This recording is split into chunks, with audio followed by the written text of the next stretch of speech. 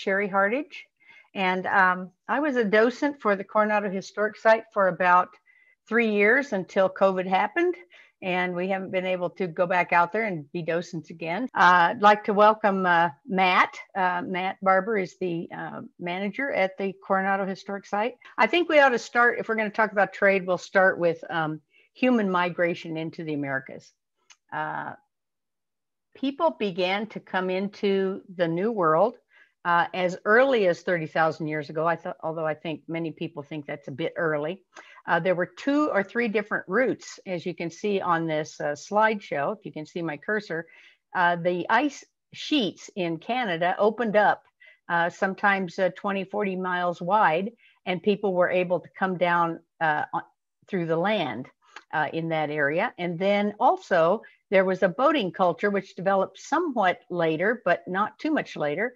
And people were able to just follow the coast and stop every now and then and uh, and and live for a while. They called it um, a kind of a, a, walking migration, where people uh, uh, went somewhere, found a nice place to live, lived for maybe a couple of generations, and then uh, continued moving on down. So if you were already a boating culture and you made your living in on the ocean and collecting um, marine uh, foods, uh, it would be piece of cake probably to get in your boat and go on down the coast a little further if it got really cold or if uh, some of the other people in the area were pushing you to, to move on. So it is possible that people reached South America in the areas of Peru and Chile uh, as, as early as 20,000 years ago. So uh, there's a lot of, uh, lot of questions about that and people are still studying that a lot the earliest trade in North America that we're absolutely sure about is the uh, Clovis points uh, and the uh, the various uh, what they call darts. Uh, this this point right here was on a spear, and it is called a dart. Uh, this particular piece is, I believe, chert, and the the Clovis points were made from a number of rocks, all of which could be sharpened and pointed uh, and kind of carved like this. And the uh, raw materials for these part these uh, points were things that people would trade with other people. So the Jemez, for instance, was a source of obsidian, and it, very early on, and people would take chunks of obsidian with them and trade it for perhaps jerky, buffalo jerky with some of the plains tribes, perhaps. And, uh, and we know this because, especially with obsidian, you can test its, um, its chemical structure and you can see where it came from because they've uh, analyzed the chemical structure of various sites where they know obsidian was mined. And that is true also in Mexico. So here's Mesoamerica. This is what we're going to be talking about today. This is the area of the world where corn was domesticated. Uh, this shows uh, some of the major cultural areas. Uh, the Mayans were in the peninsula, the Yucatan Peninsula. Oaxaca and Guerrero are where teosinte originally uh, was. That's the earliest forms of corn. And so they were uh, domesticated there. Uh, the central area, right here, is where Mexico City is in the Valley of Mexico. West over here is um, uh, put the Purepecha people much later on, but this is the area where lots of avocados grow today, and it is um, uh, Michoacan, the state of Michoacan, and the uh, area of Pátzcuaro is uh, right over there in that in this area too. And north up here are other states like Chihuahua and uh, Sinaloa and some of the other states that that border on the ocean, and uh, that is also where uh, corn found its way, and where corn grows quite well. And so corn was a major export item from uh, central from the Mesoamerican areas, and also it changed the culture entirely. Mesoamerican markets, for instance, uh, the New World is home to lots of different vegetables and things that we sort of take for granted now. But the Spaniards, when they arrived, the chroniclers were so amazed at the variety of fruits and vegetables that were there and things to eat. And in many cases, they were afraid of them because they looked so weird. For instance, this uh, weird looking thing here is a, uh, a papausa, and this uh, orangey thing down here is a, a sapote, a mamey sapote. Or, so um, yeah, uh, if you'd never seen anything like that, you might be a little bit leery of eating it. um, all kinds of things that we take for granted, like avocados and artichokes, are New World uh, New World foods. We know that chocolate is, most of us know that. Beans and corn, of course, are from the New World. But the sweet potato uh, was in North America, and the white potato that we're mostly used to, the Idaho potato, is actually from South America. So I'm just talking here about the stuff from, from Central America and North America. Um, the marigold is a very famous flower. It's uh, the Day of the Dead flower that's used in uh, Mexican uh, celebrations. And also, it was a flower that the Aztecs used when they worshiped their ancestors as well. Uh, also, cotton was uh, was uh, here in the in the New World. It was a, a, kind of cotton that grows only here or grew only here. all the pumpkins and squashes that we're familiar with were here and uh, chili peppers, uh, walnuts, choke cherries, blackberries, and even strawberries were New World plants. They were not uh, Old World brought here. So the interesting thing about, um, about the New World and its civilizations was the fact that we had maize, we had corn. Uh, corn was, is an old world word, and it was referencing um, like barley and things like that, those kinds of grains. But uh, in the New World, it was maize, and uh, civilization would not have been possible without the cultivation of maize and a method of turning it into a digestible form.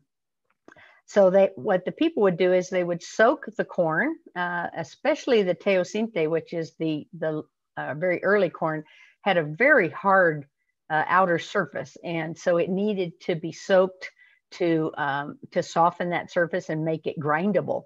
Uh, so they would soak it in water, but they discovered that if you soaked it in some kind of a ash or limestone water, uh, it was easier to work with and didn't take as long to become soft. Uh, the ancestral seed grinder, which uh, if you uh, have uh, any experience with the Paleolithic people, uh, they often had a little stone with a hole in it and they would grind in the hole. And that evolved into this, which is a metate. And then the handheld rock is a mano. So the manos and metates were used to grind wet corn more often than they were to, dry, to grind dry corn. And the gooey mass uh, became something that they could use like, uh, like dough and they could make tamales. And that's how tamales were invented. The, the uh, term of uh, putting something uh, lime lime like is um, is called nixtamalization. You've probably heard that term because most of you are familiar with uh, with the culture here in New Mexico. Um, it became a, a staple because uh, that corn that was soaked in an alkaline solution could break down the aflatoxins. Uh, the mycotoxin contamination is sometimes makes hard uh, corn hard to digest. And so it has a better odor and an improved flavor, and it got to be quite popular. Where uh, it was further domesticated into 32 distinct varieties. Uh, by 200 BC, corn had spread over the breadth of North and South America, and uh, it was uh, it was domesticated in a number of places. Uh, some places uh, liked a particular color, so they bred corn for that color, and some uh, liked a particular flavor. Um, popcorn was the old teosinte that had uh, that kept its tough exterior. So when you heat it up sufficiently, that it explodes, and uh, that's how popcorn uh, was was very popular too. And that was a particular type of corn that was uh, traded.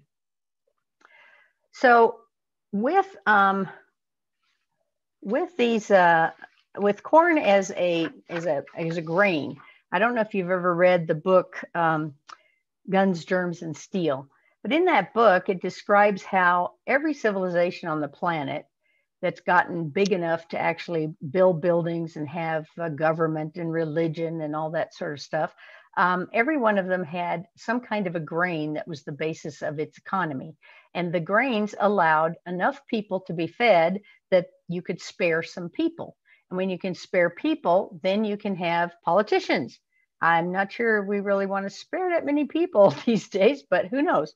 Um, when we have a consistent food source and reliable crops, you can form much larger communities. And so between 1200 and 900 BC, uh, people in Mexico were building earthen mounds and pyramids, and they created sculptures. This sculpture is from Teotihuacan, which dates to around, uh, I think it's uh, the, the year zero. Um, the first, so the, so the Olmecs were the first uh, culture that began in um, in Mexico, and they were called a pristine culture. And the reason that they were called that is because they grew from nothing. They were not influenced by any previous culture. They were the very first culture, and they were known for uh, these colossal heads, which you recognize. And the area where they developed was this part of Mexico. You can see in the little pocket slide down here um, that it's a it's a fairly small area, but uh, they were able to grow enough corn to to begin to uh, coalesce into civilization. Um, they codified a number of their beliefs. Um, they established a culture of uh, priests and ruling classes. And the name Olmecs was not their name for themselves. That's a name that the Aztecs gave them, and it means the rubber people. So what they what they were famous for and what they uh, had as a trade good was rubber balls and things made of rubber. And the uh, the rubber balls were uh, from the um, from a tree that gives a um, well, let's see, what, what, do you call it? It gives a kind of a goo. And then there was a vine nearby, a moonflower vine, which had some chemicals that when you mixed it with that goo, you got rubber so they invented that and then they were famous for that. They started um, making rubber balls for games, and that was the very beginning of the very famous uh, Mesoamerican ball game. The earliest cache of rubber balls was found around 1600 BC. Uh, it's predating the earliest known ball court by over 200 years. Okay, so this picture is um, is the ball court in Tonina, which is uh, in, in the uh, Chiapas region of Mexico. And Tonina is uh, the largest or the tallest pyramid in Mexico. And this is a really beautiful ball court. Uh, they've reconstructed it, but it is basically shaped like an I. So you can see the middle section here is the leg of the I or the middle section of the I. And then the uh, lengthwise plazas on either side uh, form the top and the bottom of a capital I. And so this, um, uh, this shape is, uh, is very similar to the shape of a turtle's shell, the pattern on a turtle shell. And um, so years ago, I wrote to a friend of mine who is an archaeologist, and, and I asked him a simple question. I said, um, when, um, uh, when this ball game was played and someone was beheaded afterwards was it the winner or the loser that was that was sacrificed? And he wrote me back and the first thing he said was never ask an archaeologist a simple question. What i got was a four page document talking about the, how the hero twins created humanity how this was uh, uh, the rain god Chaacs lightning bolt had hit the cosmic turtle and had cracked its shell open. And here we have a crack in the shell. That's what this entire ball court represents. And the players um, were often captives from ruling families from rival cities. So uh, they got beheaded. Uh, sometimes all of them got beheaded because that was what they were playing the game for. And they wanted, in theory, they wanted to be sacrificed to the gods. I'm not sure how much of that was uh, was political uh, for, politically forced on them because they'd gotten captured, or if it was um, uh, a, a, strictly religious um, uh, endeavor. Okay, in this ball court at Tony Tonina, the goalpost is actually a captive uh, kneeling down and ready to have his head cut off. So that's what you were aiming at with your ball. Uh, the, the ball game was also played with these same rubber balls that the uh, Olmecs had invented.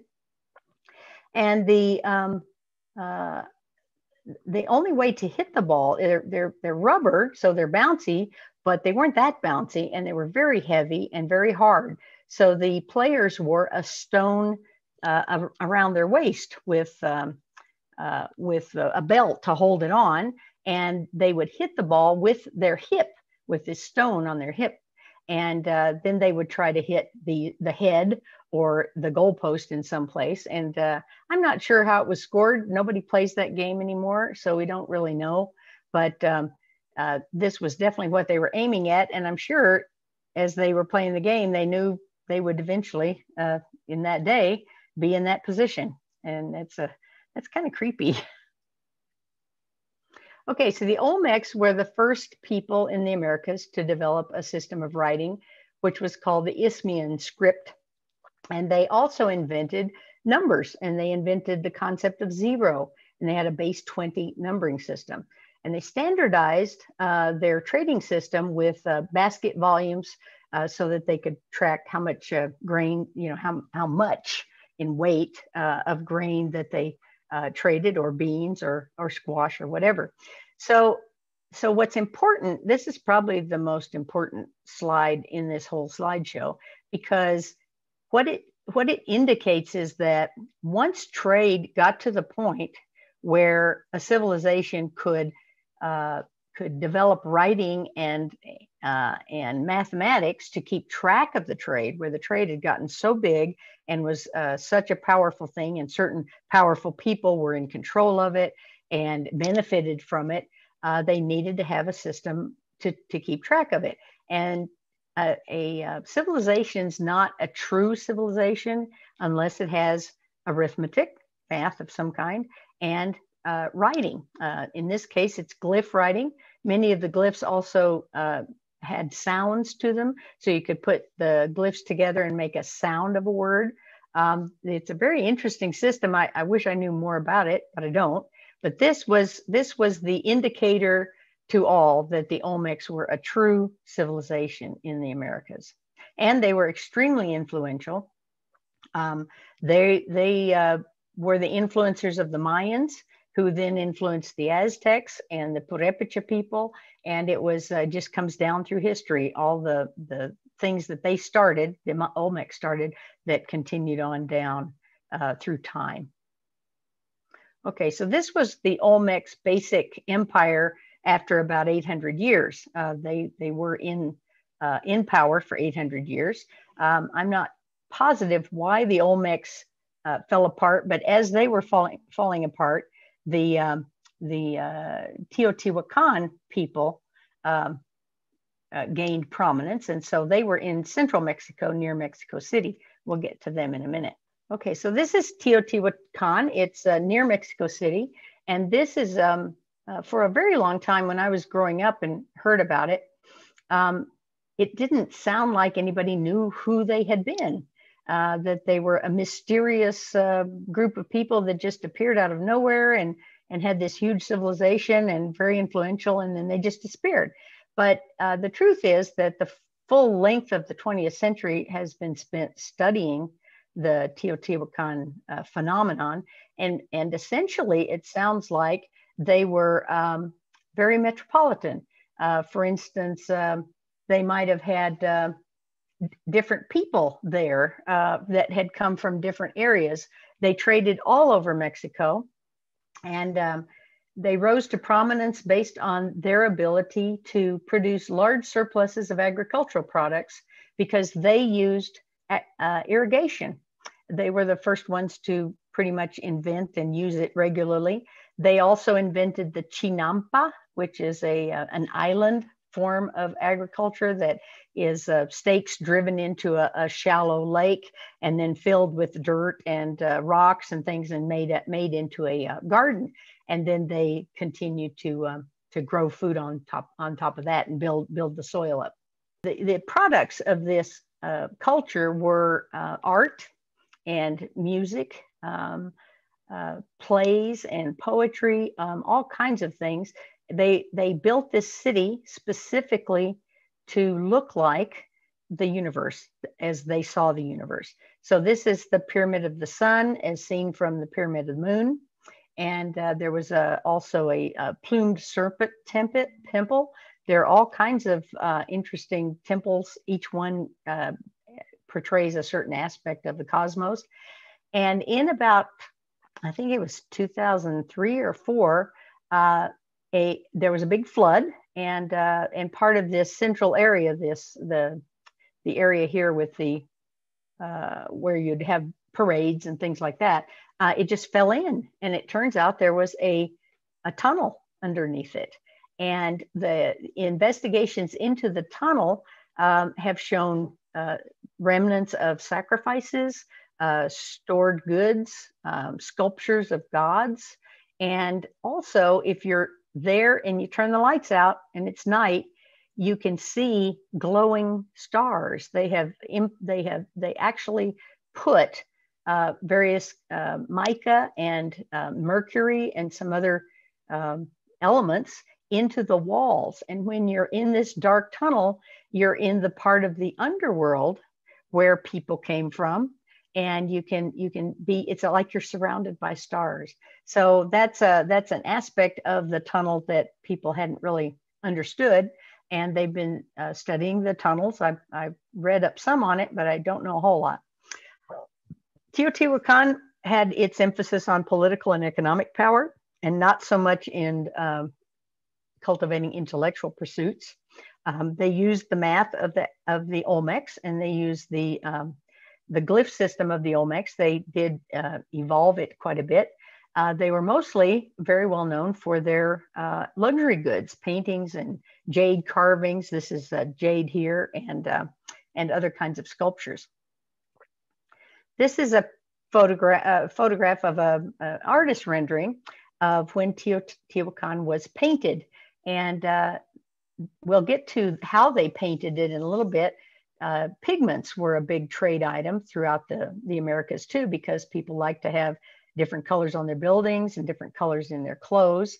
Uh, so this is a, a, beautiful picture of the Pyramid of the Sun with all of the different pyramids that uh, line the causeway there.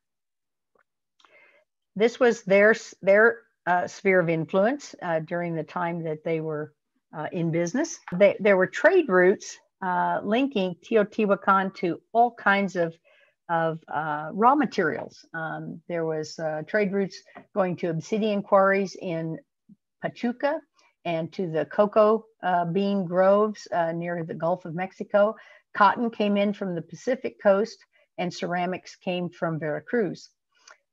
There's a number of scholars like David Carballo of Boston University has revealed the sheer diversity of the citizenry of Teotihuacan that judging just from the artifacts and paintings found inside surviving structures, residents came to Teotihuacan from as far afield as Chiapas and Yucatan, which is way over here.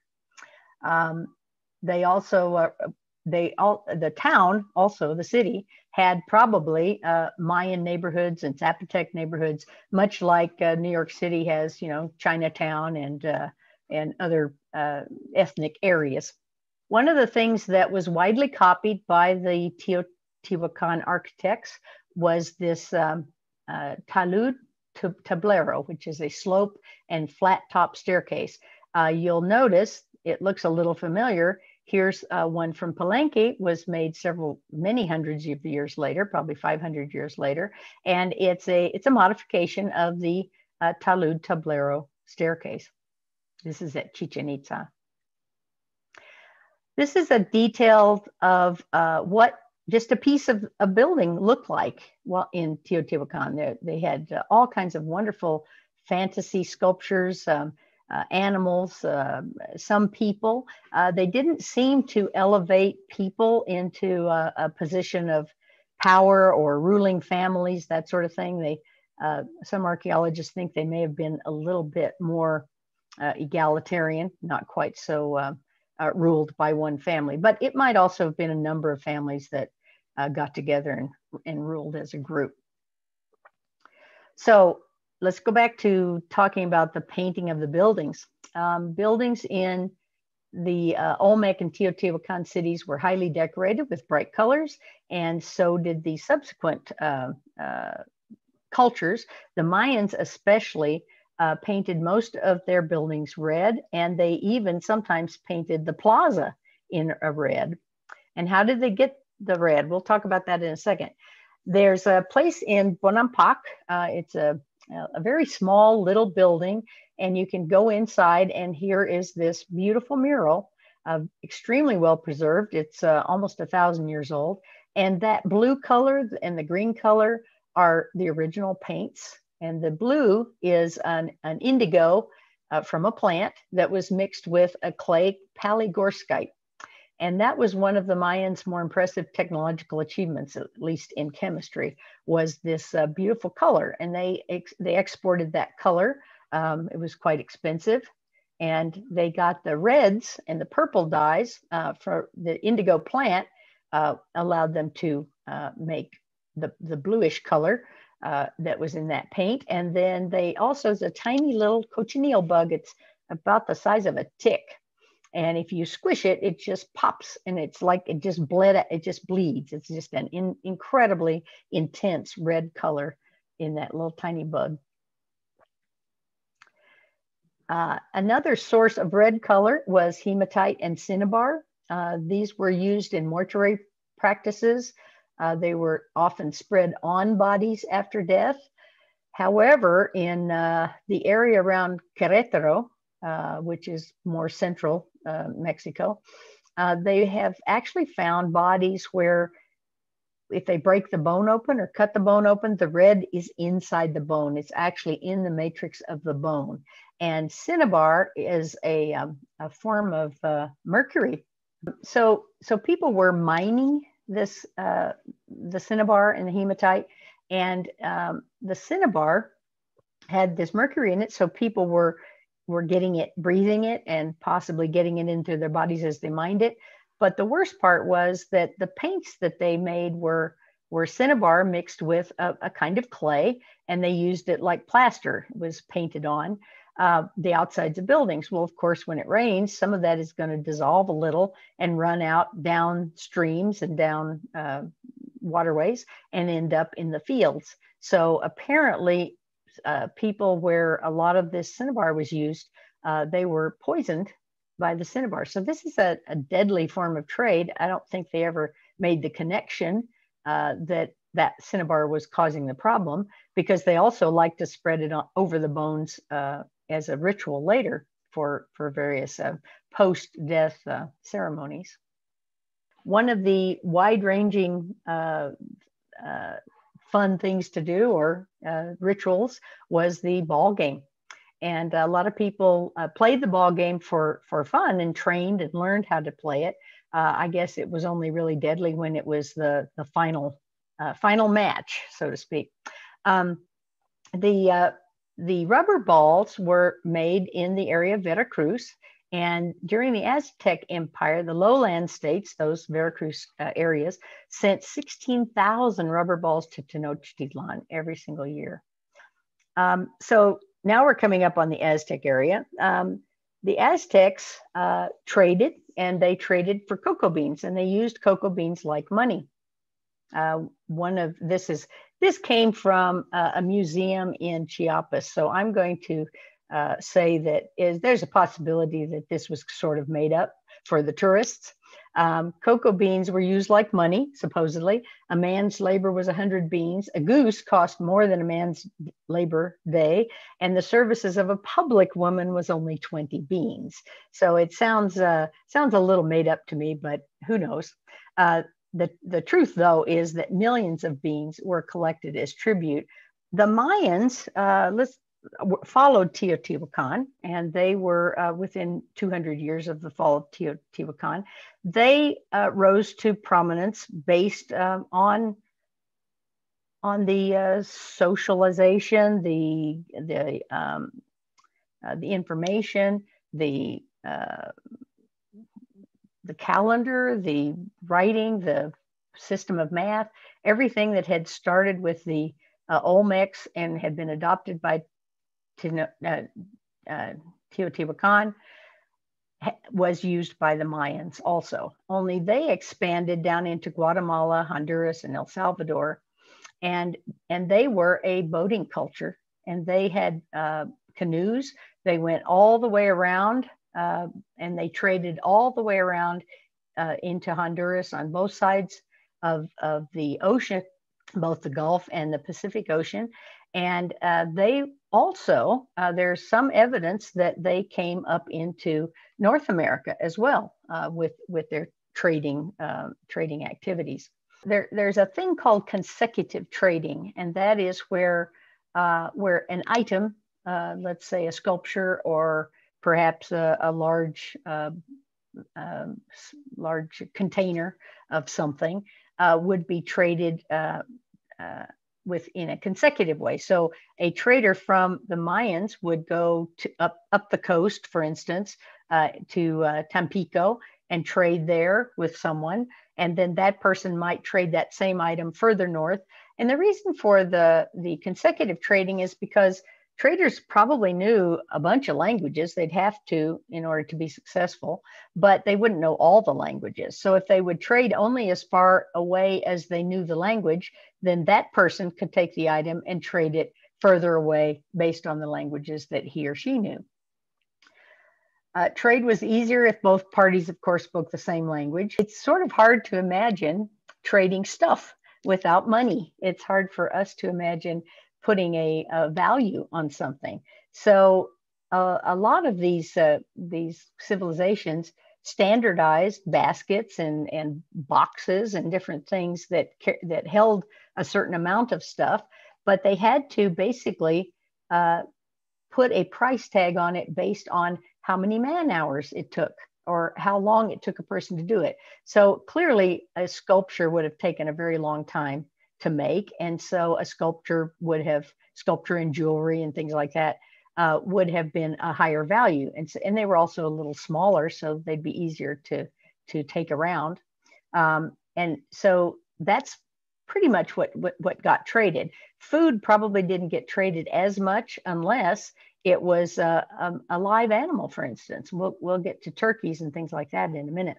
Prior to 1500 BC, people in what is now the American Southwest were basket making and hunter gatherers, and they were sometimes exposed through the proximity and trade with a growing population of farmers to the south. So the, the corn trade was moving up the coast, but in Mexico, it, uh, in the Mayan world, it was city states, and it was uh, it was very advanced.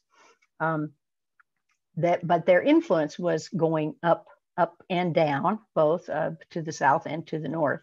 Uh, the Mayans were probably the most widespread of all the um, Mexican civilizations. Okay, so this is uh, North America and some of Mexico, and you can see uh, the kinds of trade routes that had developed. There were big areas like Zuni and Pecos. These are in that we're familiar with, and Taos.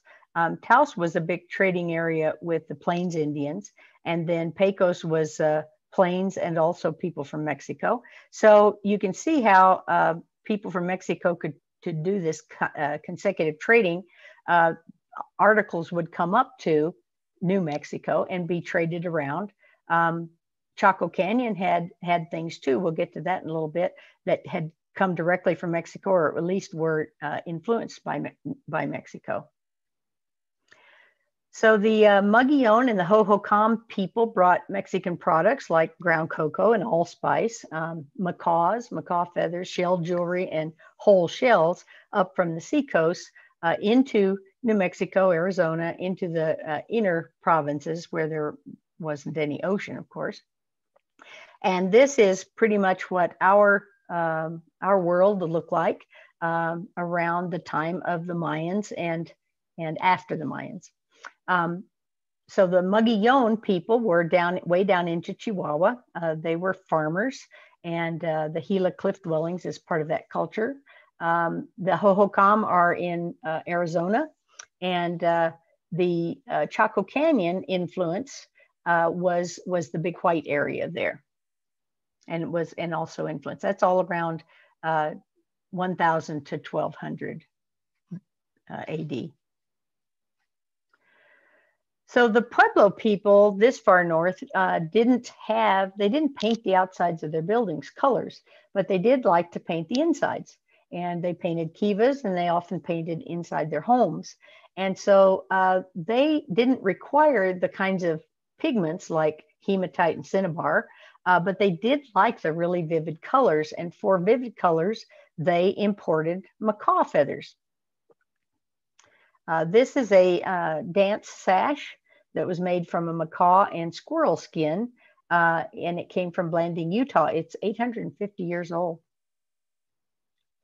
And these are some uh, some glyphs uh, of uh, Pueblo people, Mimbres and ancestral Puebloans, uh, depicting the art. And this uh, this lady here that's holding the the two macaws on either side and has the lightning bolts coming out of her bowl, the bowl on her head. Um, she is very similar to the uh, paintings that we see inside the kiva. She's wearing a, a dress with the uh, with one shoulder uh, tied up, and uh, she's got her rain sash on, and then she's holding these two macaws. The uh, the people in New Mexico um, did have live macaws too. They traded a lot of feathers, but occasionally they would get a um, a live bird, and we know that because Arroyo Hondo, uh, the ruin at Arroyo Hondo, had a macaw sacrifice. Uh, it was a fairly young bird, but it's clear that the bird had been there for a while and had uh, had grown there. So, at, in some fashion, the people, the Pueblo people, uh, figured out how to keep a bird like that warm enough in the in the wintertime to make it through the winter. And uh, so they uh, they used the feathers. We don't know why the bird was sacrificed. I'm sure its feathers were used then after that, but um, uh, it must have been a very important sacrifice because I'm sure those birds were expensive. This is a, um, a trading village in Chihuahua, northern Chihuahua. Uh, some of us, some of the docents went there uh, a couple of years ago. Uh, this is a, a, plaza with macaw pens and cages. They also had turkeys and this is uh, part of the breeding operations as well. It's just another uh, view. And and the uh, and I wanted to talk about the turkeys. When Mary Wiaki was uh, giving her talk on uh, turkey feather blankets a couple of weeks ago, uh, she talked about the turkeys that the people kept at the pueblos was a different species than the wild turkeys. Uh, the wild turkeys around here are the Merriam and Rio Grande subspecies, and they can easily fly away. But the Mexican turkeys that were brought up from Mexico as either eggs or chicks or, or grown birds, uh, they were they had been bred long enough that they could no longer fly.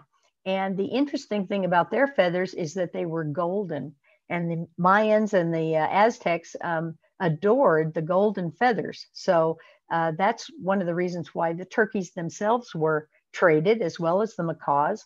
And they were also raised at Paquime uh, in the same uh, in the same uh, way. The wild bird, the Merriam bird, has a little white uh, tip on the end of it. And so the Merriam was also hunted, but they weren't kept as, um, as a domesticated animal.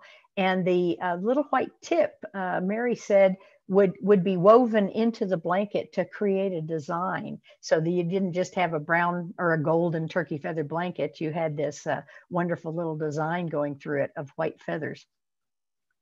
These are the uh, subspecies areas. This is a today today's range but the um, the Meleagris gallopavo is the uh, uh the scientific name for the species that is was domesticated and made into the the commercial turkey, which has now got lots of different um, uh, breeds of it, but uh, basically it's it's all the same species. And they were uh, domesticated in northern Mexico, and now in the Hohokam areas of uh, Arizona, there's uh, evidence that the Hohokam people also domesticated uh, that turkey. Uh, it started out probably with one of the ocellated turkeys in Mexico because they do have beautiful golden feathers, and uh, and worked its way up into uh, northern Mexico and was was part of a you know commercial breeding operation. So they were pretty sophisticated people with uh, with how they uh, bred animals and and traded the eggs and uh, and the feathers. The Paquimé potters also uh, made these uh, effigy pots, which they traded, and they they were the precursors to the Mimbres potters. So if you look uh, at them, they're they're very amusing, and uh, they have a lot in common with the Mimbres uh, uh, designs that that were are so popular right now. So one of the last things I wanted to talk about about major trade items was caca, which is the uh, Mayan word for chocolate, the, the cocoa bean. There was an investigation in uh, Chaco Canyon, I think it was room 26 or 27, where a number of pottery sherds were found. Uh, they, they were broken cups, and the cups were uh, cylindrical cups that were very similar to the Mayan cups that they used for uh, ritual drinking of chocolate. And if you look here, um, this the Mayan is on the right and the Chacoan jar is on the left. And uh, uh, if you if you can read the glyphs, the uh, Mayan jar actually says this is for cocoa. It has it has a label on it.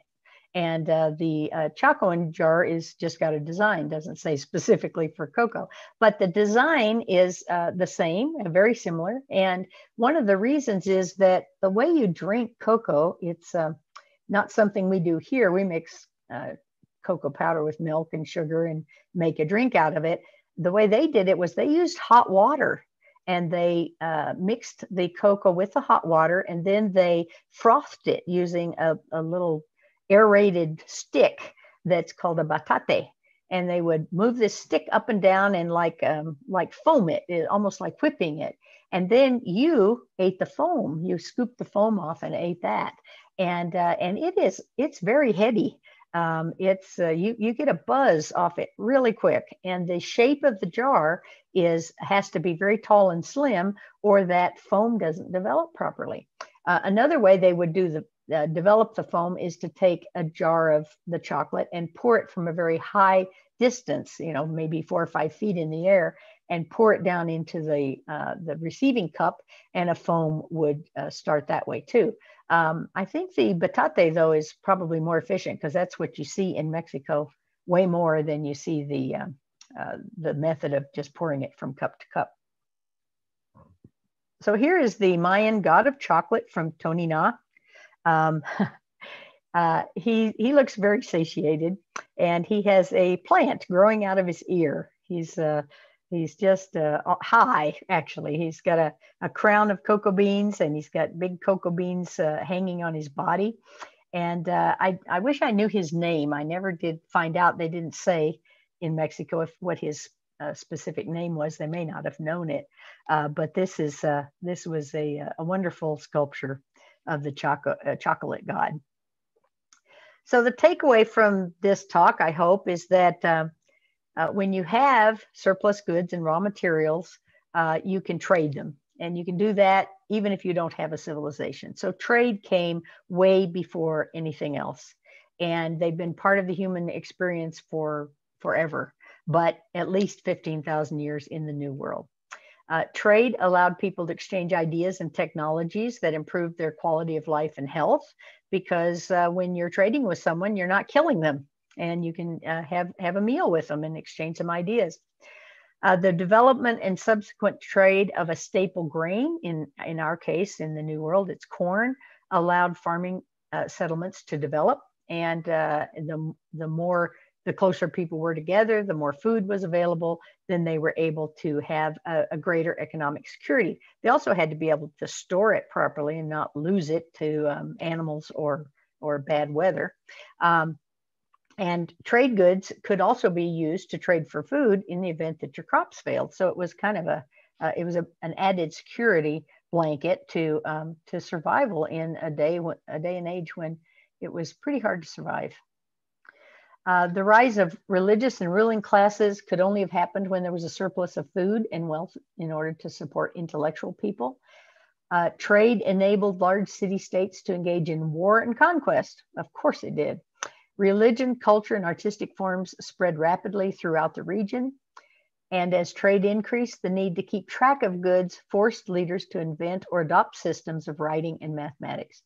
These in turn enabled a rise in artistic, commercial, and scientific endeavors.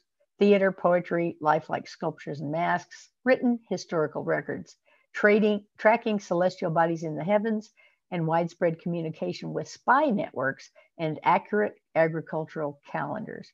Now, the Teotihuacan people uh, had, they used uh, uh, a group of traders. Uh, they paid them extra for, uh, for information about uh, other other city states, and they used them as a spy network. So even that is dependent on trade. So the upshot is really that trade came first. And because as you trade more and are more successful, you have to invent things uh, to help you in that endeavor. And, uh, and from all of that arises um, a civilization like we have, where very few people are actually engaged in agriculture and uh, we're all engaged in something other than agriculture that supports an, an extremely uh, complex uh, society and economic system. So that's the end, except not really. Trade is uh, complex, and much is uh, and so much is known about who traded with whom and what goods they traded. This was really a brisk overview of Mesoamerican influence across the Americas. And in fact, uh, much of the 20th century archaeologists have been studying uh, the middle part of the United States and uh, and the southeastern uh, areas around uh, Florida and Georgia, and they've discovered that the the Mayans and um, and various other city states had an influence on uh, on th- those cultures as well. In fact, Cahokia is the mound builder culture, and the mounds are very much shaped like pyramids. They they have a similar slope and they have similar uses. And those mounds date back as early as 3000 uh, BC. So uh, that's the subject of another long talk, which I may put together someday. So I thank you. If you'd like to ask a question, please do just to unmute yourself. Matt, do you want to correct me on anything? I mean, some, some of the things you said are probably open a little bit to interpretation, but no, I think it's a great first step for anyone wanting to discover more. And I think you you said that. The only typo I saw that I'll, you know, just as a, a caveat, quick caveat, Good. Um, the one that, that occurred to me, and I apologize, you know, I'm still trying to wrap up stuff before I head back. Uh, may probably post-dates Mimbres. So you had those reversed. And I don't oh, know really? if that was just okay. a, a, flip in the, the mental switch. So Mimbres came, uh, and, and, and now mind you, if you go back to Di Peso's work, he actually wanted to sell um, uh, May is earlier, but more of the more recent evidence. So the, the evidence that's come out since Di Peso published his, his seminal works on May uh, suggests that it all, almost all of it postdates Mimbres. Um, really? Okay. So yeah, when were but, the Mimbres? May was 1200 to, to about. Well, 10. so May is probably, if you actually, you know, if people who've looked at the data since then, May is probably post 1300 in most cases, or at least post oh, really? 1200. Um, Mimbres, classic Mimbres, you're looking at um, the 11th and, and, 12th centuries. So you're okay. looking at that period just right before that. But I think it's still, I mean, from what I gather, and, and certainly even even though I, I spend a lot of time down in that region, my focus is not on that time period. Uh, my understanding is there's still a lot of people debating a lot of how Mimbres impacted Paquimé and and that kind of stuff. So that was the that was the the one thing I I caught myself. But I think I I'll be honest. Um, I think this is an excellent presentation for people wanting to get a, a, a foot in on understanding Mesoamerican cultures.